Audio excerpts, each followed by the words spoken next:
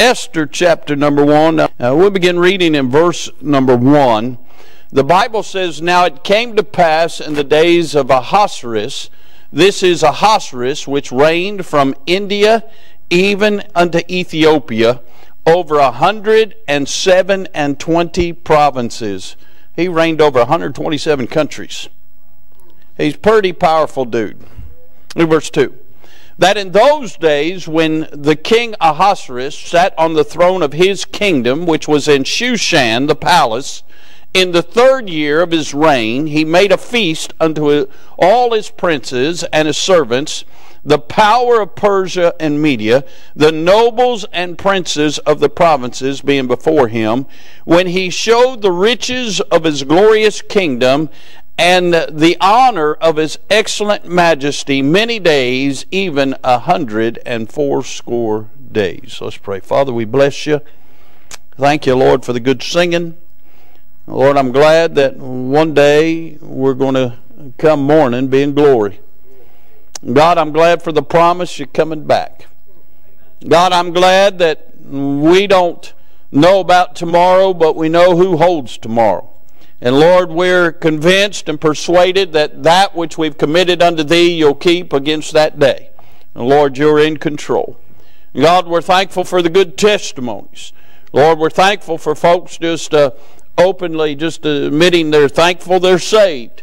And what a blessing that you're in the soul saving business. Now, Father, I pray you'd help us tonight. I pray that, Lord, you would speak to our hearts you would edify your people, you would encourage them, enlighten our minds to thy truth. And Father, we certainly do pray if there be any amongst us tonight unsaved, that tonight would be the night of their salvation. We do pray for the saints of God that you would stir them, that you would stir unto their remembrance uh, the good things of God the day you came by and saved them. And God, you would uh, certainly uh, show them the days that you've come by and brought victory in the midst of their opposition. God just uh, uh, reassures some things in their hearts and lives, and God uh, fill their cup that when they leave forth from this place, they'll be able to tell others what great things God has done for them. Uh, Father, we ask you to put a hedge about us. We plead uh, for the blood of the Lamb over this place. Uh, God, we pray for Holy Ghost conviction and Holy Ghost confirmation. Father, do a work in our midst tonight. Help us use this unworthy vessel. Uh, glorify your name. We'll bless you for it, for it's in the wonderful and glorious name of the Lord Jesus we ask these things. Amen amen. I want to draw your attention to several things from this chapter. Uh, the first thing I want you to notice is the fame, the fame of Ahasuerus. In verse number one, we find that he reigned from India even to Ethiopia over 127 provinces. There wasn't anyone in that part of the world that did not know who King Ahasuerus was. We see the fame of him. I want you to notice the feast that he sets forth. In verse number 3, he says, In the third year of his reign, he made a feast unto all his princes and his servants, the power of Persia, Media, the nobles and the princes uh, and the provinces being before him, and he showed them the riches of his glorious kingdom, the honor of his excellent majesty, many days, even a hundred and fourscore days. Uh, uh, uh if you take 180 days and divide it by 30, you got six months. Now that's a feast. Six months of just reveille and feasting and showing off all that he had amassed in overcoming and conquering those 127 provinces. Hmm? There's a lot of people like to show off, don't they? There's a lot of people like to take a lot of credit. Uh, and they like to relish and rub people's noses in it. We see the fame, we see the feast. Now notice the flaunting in verse number 11. I don't have time to go into all these verses, but I'm getting somewhere. Verse 11, he's commanded his servants to bring Vashti, the queen, before the king with the crown royal to show the people and the princes her beauty, for she was fair to look upon. I mean, it's bad enough that he showed them all of his riches. It's bad enough that he showed them all his gold and all that he's amassed. I mean, there's one portion here that said where they were drinking out of gold vessels. It's one thing to show off and, and, and show off his military and show off his palace and show off all these things. Uh, show off all the feast, all the food uh, that is brought before him. I imagine in those six months uh, uh they're seeing food that the commoners uh, uh, never got to see. It's one thing to show off all of that, but now he's going to flaunt his queen before them parade her out in front of them so they could look on her and really lust for her. Hmm? We see the flaunting. Hmm? Now, let me just say this. Y'all a little sober tonight. What kind of man wants to show off his wife to other men? Hmm? Hmm? That, that, that's not much of a man in my estimation. Hmm? I mean, if, if you study the Word of God, a husband's to love his wife as Christ loved the church and gave himself for it. Uh, he's to uh, provide for her a manly affection, but also he's to provide for her security and safety. I imagine the worst place you want to have a fair a woman fair to look upon, as the Bible says, in front of a bunch of drunks. Hmm? And yet he's wanting to flaunt her. Huh? Notice, if you will, the forbidding. Hallelujah for somebody that's got some standards.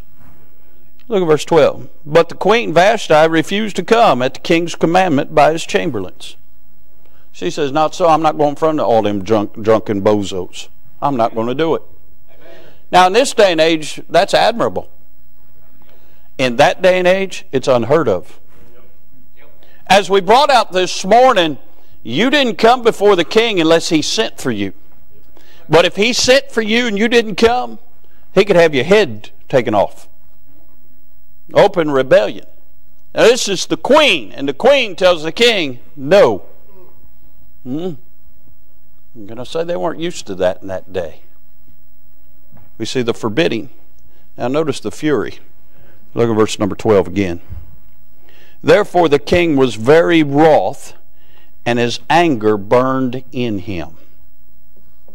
Here he is being a big show off, and he's going to show the final prize that he has.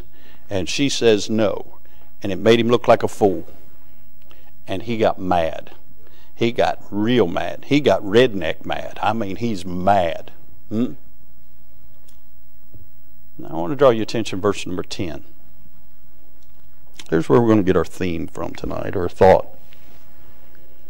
On the seventh day, when the heart of the king was merry with wine, he commanded Mehuman, Biztha, Harbona, Bigtha, Abagtha, Zethar, and Carcas, the seven chamberlains that served in the presence of Ahasuerus the king to bring Vashti the queen. And we got seven men mentioned there. These men are his chamberlains we would note them as being officers, or uh, really, as far as our system of government, these are his cabinet members. These men know everything about him. They have gained his confidence. He uh, is ultimately trustworthy of them, and he has sent them to send word to the queen. Now, you know me. I know there's something about names in the Bible. So when I began to read this and study this, Brother Donald, I'm thinking there's something about these guys' names that's important to the story here. So I began to research what their names meant. Can I say that Mehuman means faithful? Can I say that Biztha means a double gift? It means he's blessed with talent and he's blessed with wisdom. Can I say that Harbona means a sword? Can I say Bigtha means gift of God? Or we would call his name grace. Can I say that Abagtha means fortunate one? We would refer to him as one who received mercy. Zethar means overcomer or conqueror. And Carcas means the covering of a lamb. Now, I don't know about you, but if you look at these men's names, uh, they ring out what a testimony.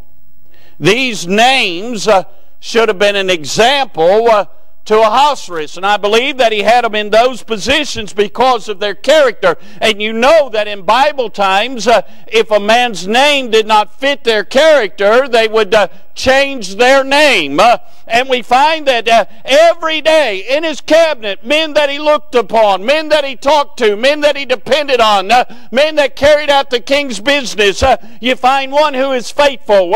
you find one who's got a double gift, double blessing from the Lord you find one a sword. We know the sword of the Spirit is the Word of God. Uh, we find gift of God, grace. Uh, we find a fortunate one, mercy. Uh, we find there's an overcomer. Thanks be unto God for those that are overcomers, that conquer, uh, that are able to overcome what comes against them. Uh, and then the covering of the Lamb. What a blessing uh, for the blood of the Lamb that has covered me. Uh, where God doesn't see my sin anymore. These are examples to the king. I'm going to preach for just a few minutes tonight on ignoring the examples. What these men stood for just in their names should have warned the king. And he ignored them. He ignored them and threw a drunken feast. He ignored them and he wanted to flaunt his wife. Had he not ignored the example set before him, he wouldn't have had his family broke up because he puts his Vashti out from being queen. It wouldn't affected the kingdom. Uh, his nobles said, You got to do something with her because his word gets to all these 127 provinces uh, that women don't have to obey their husbands. We're all in a mess. He keeps his kingdom in bondage. He has no victory and allows a wicked man by the name of Haman to slip in and about destroy the greatest part of his kingdom. He ignored the examples. Got to thinking about that. What causes one to ignore the, the witnesses or the warnings or the examples that God puts in our lives? I mean, how many times does God have to warn us from the Word of God? How many times does God have to allow circumstances to come into our lives to get our attention? for us to not pay attention to God. How many uh, things has God placed in our lives, or how many people has God placed in our lives? I mean, we're with that excuse. Uh, I, I hear some of the most feeble excuses why people can't serve God. And then you look at somebody like Miss Noreen's mother who's got Alzheimer's on her deathbed and she's still serving God. How many people does God have to put in our lives who are faithful? How many people does God have to put in our lives, uh, uh, uh, my dear friends, who uh, uh, uh, testifies of the grace of God, what God's done for them? how many people does God have to have stand up and talk about the mercy of God? how many times has God had to show you mercy? how many folks has God used in your life who's overcame some things? we've got folks in this building that's overcame cancer, it's overcame other great problems in their lives lives. Uh, how many times do we need to be reminded about the blood of the Lamb, uh, about the Word of God, and about all the things God has set forth for us to be victorious? Sure. And yet people still ignore the examples. Brother Phil and I was talking about church, and he started asking me about my grandpa. He said, all these years later, and that's still fresh in your mind, because I had an example that I didn't ignore. Hmm? Can I say this? Because generations have ignored the examples in our country, our country today is divided. We have a government that doesn't see eye to eye on anything. It amazes me the one crowd that used to stand for something until Trump got elected, now they flipped on it. He's trying to do the very things that they wanted to do before he got elected, now they're against it. Hmm? They're so divided because they're so afraid somebody's going to get credit other than them. They could care less about the American people.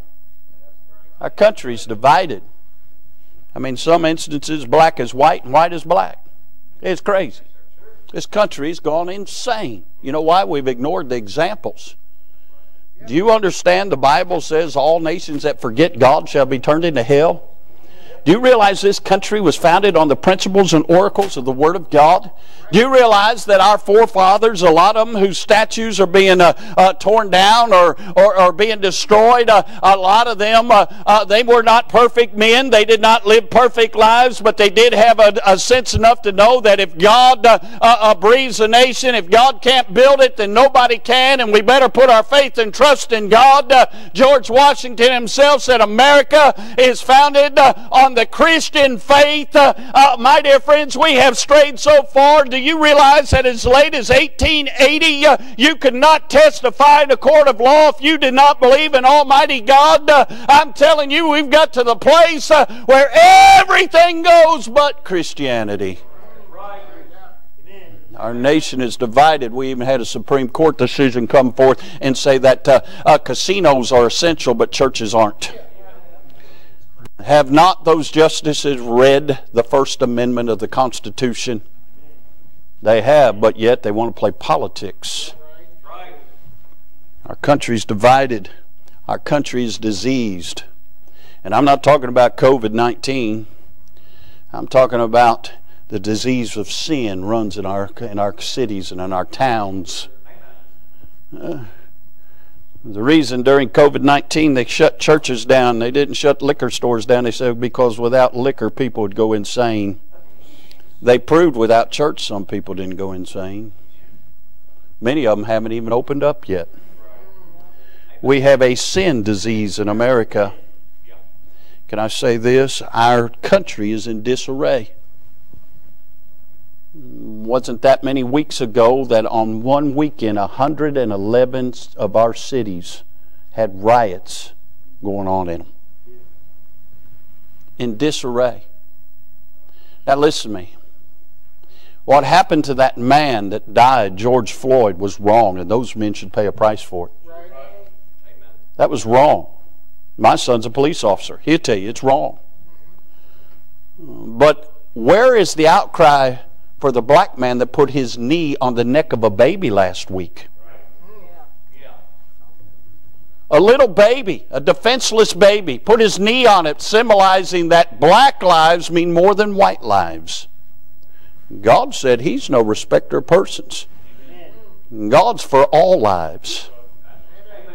But isn't it amazing? We're not burning down any cities this week because of what happened to that little baby. Hmm? We're in disarray. It's a mess. Uh, people are afraid to even speak their minds anymore. I've seen where there was a poll 62% of Americans are afraid to say who they stand for in this election because they're afraid that something's going to happen to their house. 62% of people polled. Hmm? Our country's in disarray. One of the great privileges of being American is you have the right to vote. We have a right to select our leaders. But if you stand for one side of the aisle on this thing, they'll browbeat you to death. Can I help you something? Stand anyway. Hmm? But listen, there's something that causes people to ignore the warnings. Let me give you a few things. We'll go to the house. Can I say, first of all, ignorance causes people to ignore the warnings. The Bible says in Ephesians 4 17. This I say, therefore, and testify in the Lord, that ye henceforth not walk as other Gentiles walk in the vanity of their mind, having the understanding darkened, being alienated from the life of God through the ignorance that is in them because of the blindness of their heart. Uh, Acts 17 30 says, In the times of this ignorance God winked at, but now commandeth all men everywhere to repent. Uh, people can have a great education and be ignorant.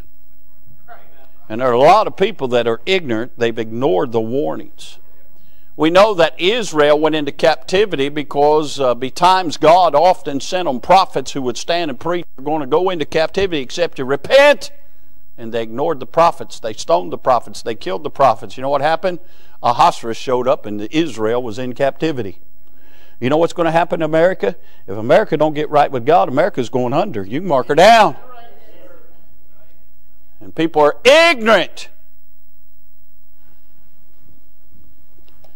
But this is all it's going to take to save America.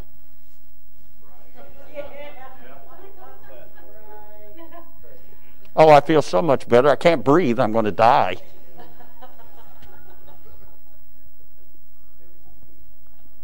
Told my Sunday school class this morning the CDC, uh, uh, the WHO, and all these outfits have all on their website will tell you the mask doesn't do anything with this COVID thing. It's all fear tactic. But people ignorantly will listen to anybody. It sounds like they know what they're talking about. They'll ignore the examples because of their ignorance. Why do you think so many people think Joyce Myers is a great preacher?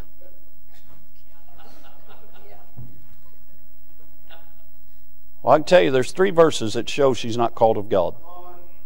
Number one, she can't be the husband of one wife. That's what the book says. That's one of the qualifications. Number two, the Bible says that a woman should not usurp authority over the man in the church.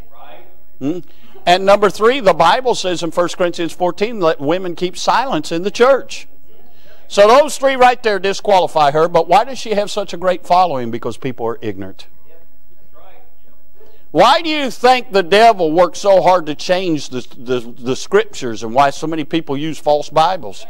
Because they won't tell you that Joyce Myers is not qualified. And by the way, Joyce Myers doesn't care anything about the souls of men. What Joyce Myers cares about is selling books.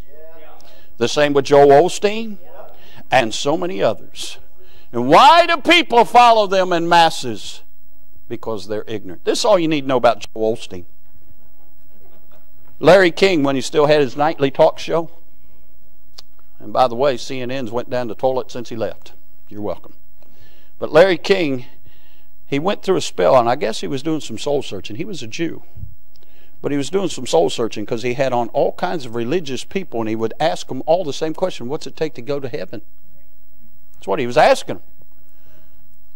None of them would give him a straight answer. Joel Osteen refused to. He flipped and flopped and did everything, and he wouldn't tell Larry King nothing. Larry King kept pushing him to the wall. What's it take? What do you believe? What do you believe? He wouldn't tell him anything. That's all you need to know about him. You know the only one that told Larry King how to get to heaven? Franklin Graham. I don't agree with everything Franklin Graham says or does, but he did tell Larry King, you must be born again. Hmm.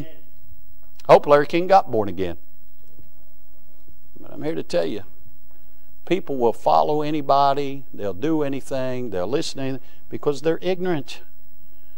Uh, one of the news commentators on 700 WLW, Mike McConnell, said this years ago. He said, People no longer read, they just listen to the talking points and make up their mind. He said, If you want to know the truth, the information's out there, just read. But people would rather be ignorant because we live in a drive through society. We want everything instantaneously. We want our food instantaneously. We want everything here quick, now, now, now, now, now. I don't have time to read. I'll just listen to what some commentator has to say about it. I got news for you. Walter Cronkite no longer delivers the news. We do not have journalists anymore. We have people that get talking points and they read what is on the teleprompter. They put pretty people in front of the camera and they put uh, uh, uh, people that are wicked behind the camera who tells them what to say. Amen. Just read. You'll find out what's going on. But people will ignore the examples because of ignorance. Can I say this? They'll ignore the examples because of intolerance. And to be intolerant means to be willful or stubborn obstinate, proud. Psalms 10:4 says, "The wicked, through the pride of his countenance, will not seek after God. God is not at all in his thoughts." Proverbs 21:24, "A high look and a proud heart, and the plowing of the wicked is sin." 1 Samuel 15:23, "For rebellion is as the sin of witchcraft, and stubbornness is as as iniquity and idolatry. Because thou hast rejected the word of the Lord, he hath also rejected thee from being king." There are some who ignore the examples because they're intolerant. They believe they're right and they don't want to listen to anything else. Hmm? Well, there's nothing wrong with being right, but you better make sure you're right with God and what God says. There's a lot of people that are obstinate and proud. I've learned this in my nearly 60, 60 years of existence. You're never too old to learn. And you don't know it all because half of it hadn't been told. Some ignore the examples because of ignorance, some because of intolerance, but can I say this? Some because of indulgence. Look again in verse number 10. On the seventh day, when the heart of the king was merry with what? Wine. When he's in a good drunken stupor. Hmm? Can I say America is guilty of the sin of indulgence? Can I say it's filtered off into churches? Did not Jesus say in Revelation 3 to the church of Laodicea, Because thou thinkest thou art increased with goods and have need of nothing, you know not that thou art poor, wretched, blind, and naked? Uh, we think we've got everything we need. Indulgence, indulgence in sinful practices. It's amazing some of the things that comes out on some of these people in high positions and authority that they've been doing for years. And they just thought they'd get away with it. The Bible says, Be sure your sins will find you out. And they're indulging in sinful practices, they're indulging in satisfying pleasures. Uh, we found out through this virus that what used to make America go, America can do without, and that is the world of sports. Sports was America's God.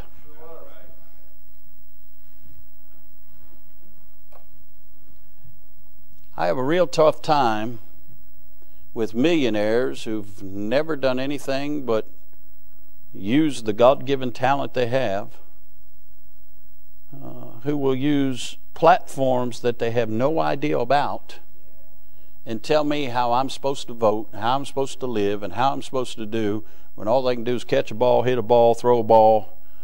They're just knuckleheads. Uh, but I have no use for anybody that when Old Glory is waving, they'll take a knee. Men and women died for us to have the liberties and the rights that we have in America.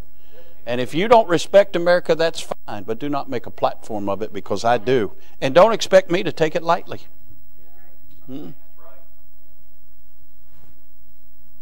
Most of these ball players are nothing more than whoremongers.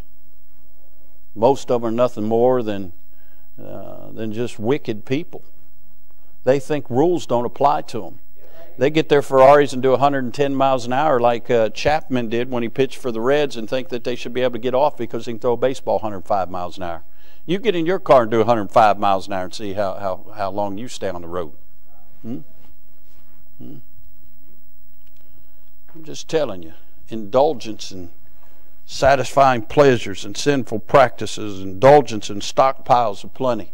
America's got the mentality that the one who has the most wins. Hmm? Uh, John the Baptist had the right philosophy. Uh, I must decrease and he must increase. And I say many have tried to appease the flesh with the world's vices only to become slaves to their own lust. Hmm. Bible tells us, 1 John chapter 2, not to be given to the lust of the eyes, the lust of the flesh, or the pride of life. Love not the things of the world. Yet so many, even Christian people, long for what the world has. Do you understand if you're saved, you own it all? One day you're going to have it all. So why don't you just live for Jesus and not worry about all that stuff? But so many people are so obsessed with having, well, you know, keeping up with the Joneses. Well, my grandparents were the Joneses. They didn't have much, but they had a whole lot of God. I, I highly recommend keeping up with what they had. Hmm? Uh, can I say some ignore the examples because of insubordination? They're disobedient, not submissive to authority.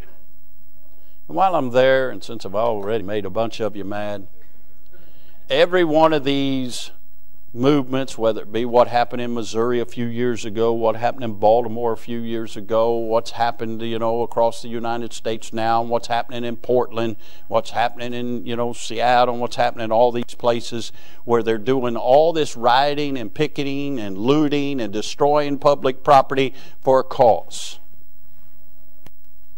How come every one of these men, and again, every life is precious and nobody deserves to die this way, but how come everyone that dies has nine or ten warrants out for their arrest and they're running from the cops or they do something to hurt a cop? But the cops are wrong. How about the dude in Atlanta that took a cop's taser and tased the cop, and then the cop shot him, and now the cops, you know, he, they want to fire him? Hmm? How about New York City where they said defund the police and now the chief of police resigned? He said this guy's done more to hurt the police force's menta- uh, uh, uh, uh, mentality and, and motivation and he's done more to hurt the city. He said, I cannot serve under him anymore. I almost ordered a t shirt there tonight that said, Defend the police, not to defund them. Do you realize without law and order in this country, we'd really be in a mess? Hmm? Why do you think they don't want law and order? It's because they're insubordinate. I was always taught if you got pulled over by a police officer, it was yes, sir, no, sir, and whatever he said, you did it. Huh? You run from them, you, you're already admitting you're guilty of something. What can I say? It's happening in churches too. I get mad. I don't like the way the preacher preach. I don't want. I don't like that. I don't like how the church does this. I don't like how the church does that. I don't. Insubordinate. I don't have time to read you all the verses about obeying they that had the rule over you, for they watch for your souls. I don't have time for all that. But I do have time for this. Jeremiah six sixteen. Thus saith the Lord, Stand ye in the ways and see, and ask for the old paths, where is the good way, and walk therein, and ye shall find rest for your souls. But they said, We will not walk therein. Second Chronicles 33:10 and the Lord spake to Manasseh and to his people but they would not hearken. When you ignore God, you're going to have to face God. You're going to have to face the wrath of God. Can I say this? The last reason why some ignore the examples is because of indifference. That simply means a lack of concern or interest in seeing the importance or the meaning thereof. I'm glad Miss Noreen's mother, Miss Opal, on her deathbed, seen the importance of telling that lady about Jesus. She wasn't indifferent. She was plugged into the program. Hmm? Uh, Exodus 32, verse 1. And when the people saw that Moses delayed to come down out of the mount, the people gathered themselves together unto Aaron and said unto him, Up, make us gods which shall go before us. For as for this Moses, the man that brought us up out of the land of Egypt, we want not what has become of him. And can I say there's a lot of people don't want the old time way. They don't want old time preaching. They don't want old time singing. They don't want old time worship. They don't want old time service for God. They don't want that. They want the newfangled thing. They want the coffee bars in the back. They want the donuts, you know, uh, uh, ready for them. Uh, they want to come in in a casual atmosphere. They want to come in and have somebody inspire them, somebody give them some self help lessons. Uh, uh, then they want to kick the pews out of the way. Well, they don't have pews, they got chairs. Want to kick them out of the way and have Christian aerobics at night. All hold hands and sing kumbaya, and everything's wonderful. The only problem is Jesus isn't in the midst of any of that mess. Hmm? I'm reminded he turned some tables over and ran some money changers out of the temple for making merchandise of the house of God. Can I say there's a lot of indifference going on because people have ignored the examples. I've said all that to say this tonight. God has put some people in your lives. He's put some truths in your lives.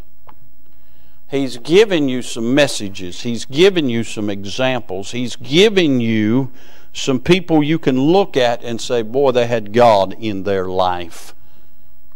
Not for you to turn from it, for, for you to say, I desire to have a double portion what they had.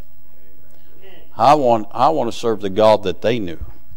I want the blessings of God evident in my life like it was in their life. Not to ignore the examples. Mm. Too many people, they forget the message by Monday morning that they heard on Sunday. And Brother Tommy, if they forget it, it means they've ignored it. Now, why, why a message like this? Because there are grave consequences when we ignore what God has put before us.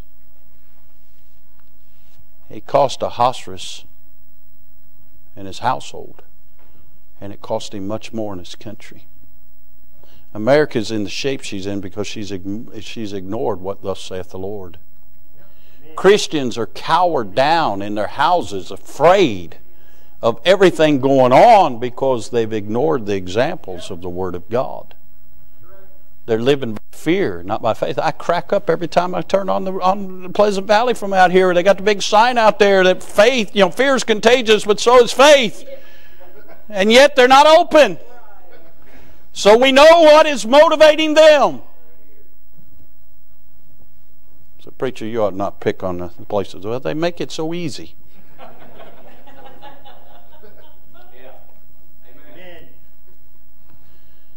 Tells me they don't have a whole lot of faith. Listen, Brother James sings a song about if heaven and earth pass away, I can still stand yes. on the Lord. So let me let me ask you something. Are you tired of seeing everything in the mess? What's going to change when we start paying attention to the examples? We start embracing the truths of God. We start making stands and saying, Sirs, I believe God. My dear friends, you know what the world has really always wanted to know? if what we have is real. Brother Ray, when you saw that change in your mom, you knew she had something you didn't have. Hmm. Thanks be unto God, two weeks later, you experienced the same thing. Him. The world wants to know if what we got is real. Don't you think that we are indebted for the gospel's sake to show them something that's real, to show them we're not afraid. But it is a fearful thing to fall into the hands of an angry God. That there is hope, there is peace, there is joy, that God is no respecter of person. You know what solve all this race thing? Jesus. Hmm? It cracks me up. I have great friends of all different colors of uh, you know you all know I talked to brother Sammy yesterday. Called me from St. Lucia. It's good to hear his voice. There's there's not anybody I love any more in the world than brother Sammy. He's a great friend. His church embraces me. I don't look like any of them. They don't look like me but we all know Jesus. Brother Sammy tells me all the time I'm the assistant pastor there. Huh? He said, I don't know what you've done to these people, but they love you. Uh, it's amazing what truth will do, love will do, what kindness will do. You know, the answers for this world is what the epistles tell us to the church. If we just live by that, we can impact our world. But can I say, how can we expect them to receive Him when we don't? When we ignore Him? When we don't embrace Him, when we don't do the extra things, the extra time in prayer, the extra time in study, the extra time seeking Him, when we get caught up worshiping the ball players, you see, we'll never win the world acting like the world. And that's why this coffee drinking crowd, they can't understand it. You know what will win the world?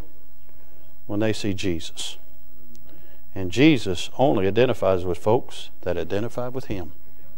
I wonder tonight, instead of ignoring an example, will you be an example? Will you show the world what Jesus can do in a life? Will you tell the world? I used to be a drunk, drunk religious man, but now I'm saved on my way to heaven. Amen. Hmm? Well, you keep telling your little neighborhood friends, Lucas, uh, even though they get mad at you, keep telling them Jesus saved you. Huh? Shoeless, keep telling that preacher up there at that other church, Jesus saved you. Hmm? It's all right. But how about Miss Tina said it in her testimony? Shame on us, these kids are excited about being saved. Why don't we be an example? Why don't we let the world see what Jesus has done for us? Has He done something for you? Well, why don't you show somebody? Be an example. Don't ignore the examples set before you. Let's all stand. Brother Ray, come get a song of invitation.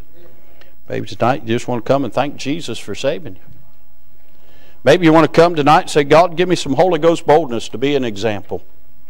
Maybe you need to come tonight and say, Lord, help me to show somebody the love of Christ. Lord, put somebody in my path that I can befriend and tell them how good Jesus is. Folks are coming, they're picking out a song. Let's pray. Father, we sure do love you. Thank you for first loving us. Help us to be an example. Bless now. We'll bless you for it, for it's in Jesus' name we pray. Amen. Thanks to listeners like you, IBC has had over 100,000 views on our YouTube channel. If you haven't already, subscribe today. And as always, thanks for listening.